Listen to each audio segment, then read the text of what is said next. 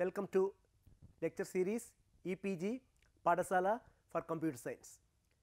In this lecture, we will be discussing development and quality plans. Learning objectives outline the objectives of quality and development plan, describe the various elements of development and quality plan, explain how development plans and quality plans are useful for internal projects. Major content of this presentation has been prepared from the textbook Software Quality Assurance from Theory to Implementation, authored by Daniel Galin, Pearson Education Limited 2004. Introduction A project needs development and quality plans that are based on proposal materials that have been re-examined and updated are more comprehensive than the approved proposal especially with respect to schedules, resource estimates and development risk evaluations. Include additional subjects absent from the approved proposal. Prepared at the beginning of the project to sound alerts regarding scheduling difficulties, potential staff shortages, problems with meeting contractual milestones etc. Milestones are nothing but targets of achievements. Objectives of development plan and quality plan. Scheduling development activities leads to the successful and timely completion of the project and required manpower, resources and budget. Human resources play a major role in timely completion of the project. We should identify the right person for the right task. Next point is recruiting team members and allocating development resources. Development risks have to be resolved. Required software quality assurance activities must be implemented. Provide appropriate data needed for project control. Elements of the development plan, project products, project interfaces, project methodology and development tools, software development standards and procedures, the mapping of the development process, project milestones which are targets of achievements, project staff organization, development facilities, development risks, control methods and project cost estimation. Project products. The development plan includes the following products.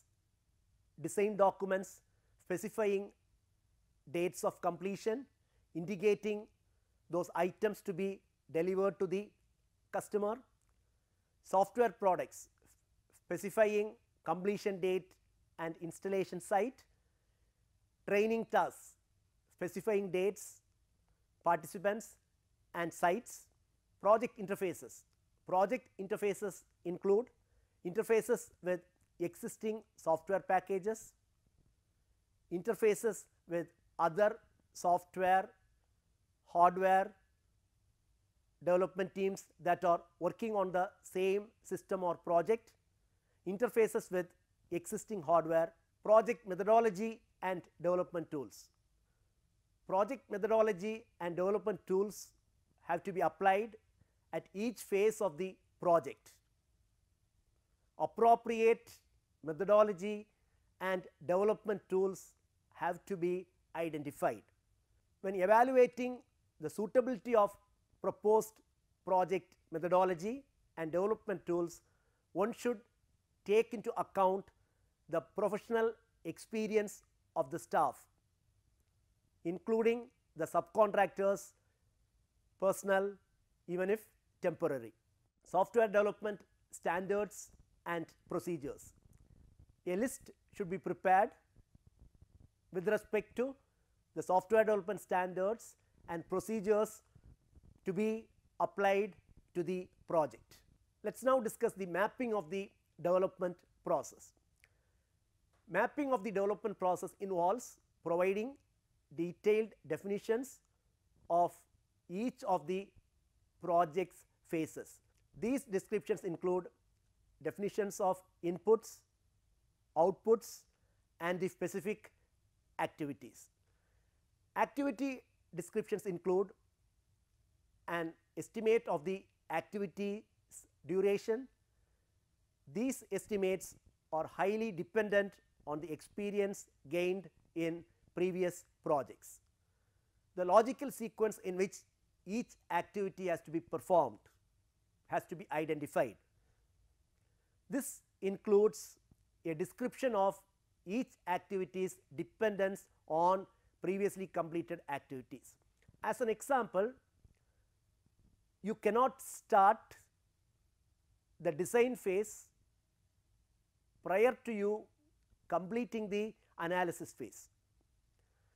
The reason is the deliverable of the analysis phase is the software requirement specification document which is a legal contract between the client and the developer. Only with the help of the software requirement specification document, a designer can arrive at an architectural design and a detailed design. Simple example, if you are developing a relational database schema for an application, the database designer must understand the functional requirements which means what data has to be stored in the database.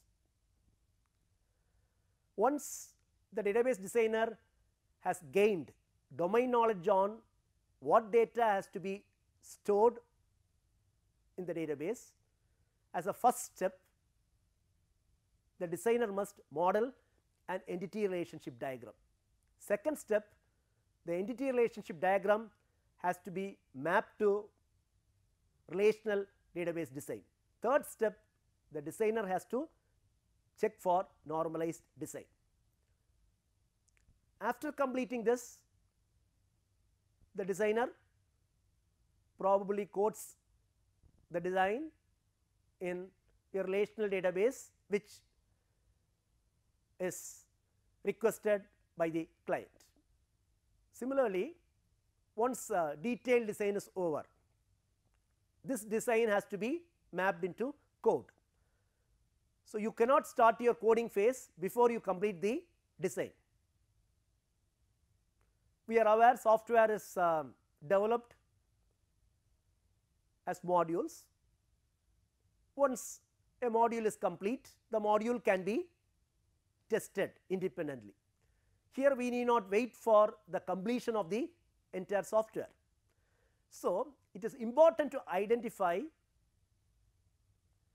which activity has to be completed before start of another activity.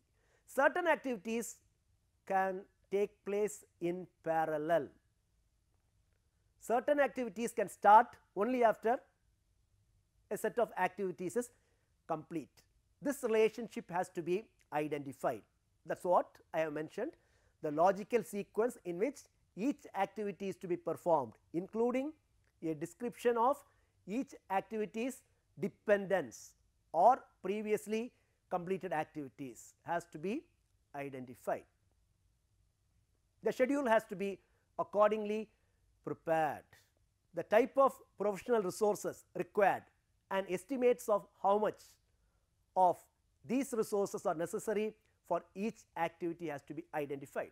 You cannot ask the designer, the programmer and test and the testing team to be available at the same time. Only after there is a considerable progress in design, the programmer can start the programming task. Once a few modules are completed, the testing team can come into picture. So, with respect to time, activities have to be carefully scheduled. Several methods are available for scheduling and graphically presenting the development process. Gantt chart displays the various activities by horizontal bars whose lengths are proportional to the activity's duration. CPM and PERT enables the calculation of earliest and latest acceptable start times for each activity. The difference between start times determines the activity's scheduling flexibility. Project milestones as I have mentioned milestones are targets of achievements for each milestone its completion time and project products documents and code have to be defined. Project staff organization organizational structure has to be identified. Professional requirements have to be identified. Number of members per team has to be identified. The number of members per team depends upon the complexity of the project and the technology involved in the project. The names of team leaders and team members have to be identified. Organizational structure, definition of project teams and their tasks including teams comprised of a subcontractors temporary workers have to be appropriately identified and documented. Professional requirements, professional certification, experience in a specific programming language or development tool, experience with a specific software product and type and so forth has to be identified and documented. Number of team members, it is expected that teams will commence their activities at different times and the team size may vary from one period to the next depending upon the planned activities. Project staff organization, names of team leaders and team members. Difficulties are expected to arise with respect to the long term assignment of staff members to teams because of unanticipated changes in their current assignments. Therefore, the names of staff are required to help keep track of their participation in the team. Consider an example. A project is initiated in January 2017. It is expected to complete by August 2017. It may be delayed by 2 months which means maximum the project can extend till October 2017. The same team has been assigned to a project which should start by November 2017. The project in which the current team is working is delayed further by 3 months. This affects the start of the next project which is scheduled prior to the completion of the current project which means there is an unexpected delay in the completion of the project. So, the entire plan to execute the project changes. The organization has to identify a new set of team members. The major problem is staffing, identifying the right person for the right task here. Development facilities required development facilities include hardware, software, hardware development tools, office space and other items. For each facility, the period required for its use should be indicated in the timetable. Development risks is state or property of a development task or environment which if ignored will increase the likelihood of project failure.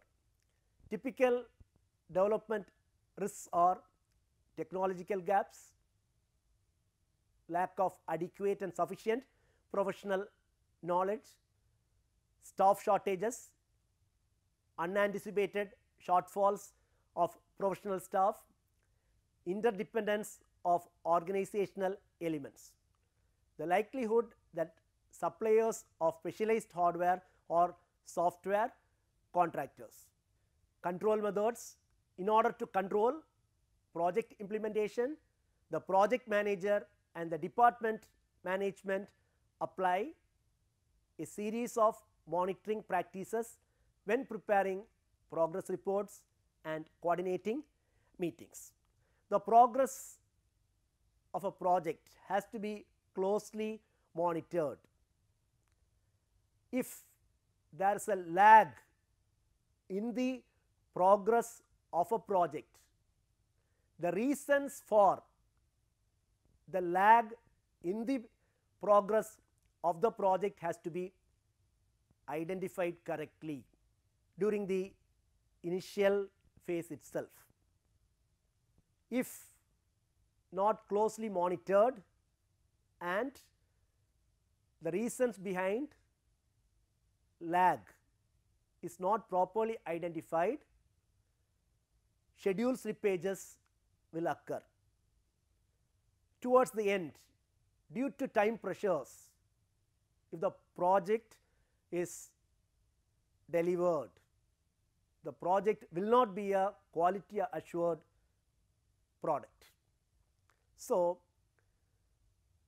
one important measure that has to be taken initially itself identify the cause for lag if any. That is why I have stated in order to control project implementation the project manager and the department management apply a series of monitoring practices when preparing progress reports and coordinating meetings.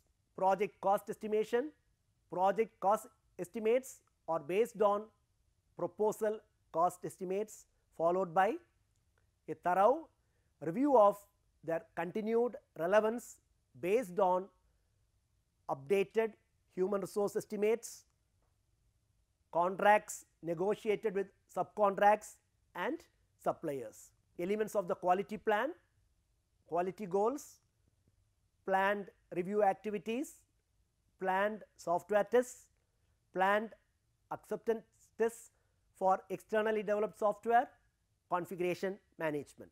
Quality goals refers to the developed software systems substantive quality requirements.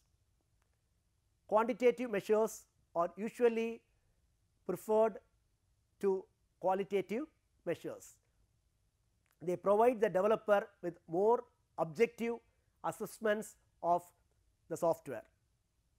Performance during the development process and system testing has to be identified. Planned review activities. The quality plan should provide complete listing of all planned review activities, design reviews, design inspections, code inspections. The following has to be identified the scope of the review activity, the type of review activity, the schedule of review activities as defined by its priority and the succeeding activities of the project process. The specific procedure to be applied, who is responsible for carrying out the review activity. Planned software tests, the quality plan should provide a complete list of planned software tests with the following designated for each test. The unit, integration or the complete system to be tested. unit testing, integration testing or system testing. The type of testing activities to be carried out including specification of computerized software tests to be applied. The planned test schedule as defined by its priority and succeeding activities of the project process has to be prepared well in advance. Identify what are the specific procedures to be applied and who is responsible for carrying out the test. Planned acceptance tests for externally developed software, a complete list of the acceptance tests planned for externally developed software should be provided within the quality plan. Items to be included are purchase software, software developed by subcontractors, customer supplied software. The acceptance test for externally developed software should parallel those used for internally developed software tests. Configuration management, the quality plan should specify configuration management tools and procedures including those change control procedures meant to be applied throughout the project. Configuration management has an impact on quality. As an example, a schedule has been prepared, milestones have been identified, the software product is in the testing stage. The customer comes out with a set of changing requirements. When the customer comes out with a set of changing requirements, the manager of the project who is responsible for managing the configurations or managing the different versions of the software must first document what changes have to be made. Next, feasibility of implementing the changes have to be identified. Feasibility whether these changes will have an impact on the schedule has to be identified. Above all, whether these changing requirements have impact on your data design and your application program or these changes have impact only on your application program has to be identified. The cost related to these changes have to be estimated. Again, as I have mentioned, the change can be either in your data design or application program or both. Appropriate human resources have to be identified. And one question that has to be addressed is will you be able to deliver the product within the schedule or whether an extension in schedule is required. Because in practice when you talk about change your you will have to modify your requirements document then your design sometimes both your data design and your application design then your code then you will have to test whether change in one module has an impact on another module. All these requires time and cost, development plans and quality plans for small projects. The development and quality plan procedures applicable to large projects cannot be applied to small projects. Cases or situations where neither development nor quality plans are required. has to be looked into. Cases or situations where the decision to prepare the plans is left to the project leaders discretion has also to be looked into. Cases or situations where development and quality plans are obligatory should also be looked into. Advantages of planned small projects over unplanned small projects. A more comprehensive and thorough understanding of the task is attained. Greater responsibility for meeting obligations can be assigned.